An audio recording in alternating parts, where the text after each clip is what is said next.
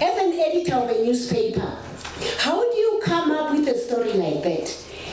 The paper itself says Derby-Lewis did say Comrade was involved, was not involved.